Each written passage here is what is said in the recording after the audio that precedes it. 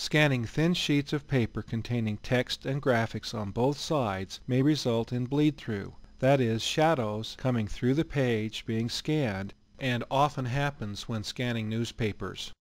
Place the piece of paper to be scanned in the top right corner of the scanner. The trick is to place a sheet of heavy, non-gloss black paper on the other side of the page being scanned. This should eliminate most of the bleed-through. This tip is one of 16 scanning how-to tutorials from the Create a Family History Guidebook. More scanning tips and helpful information about creating a family history may be found by clicking on this link.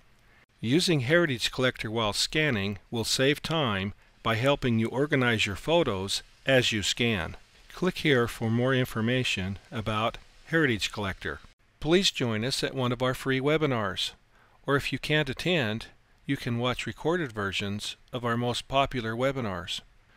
Our webinars cover many topics that may be of interest to you, such as how to organize and find your photos, how to create interactive storybooks and talking calendars, acquiring GPS coordinates for your photos, and how to automatically create GPS maps from the photos taken with your smartphone.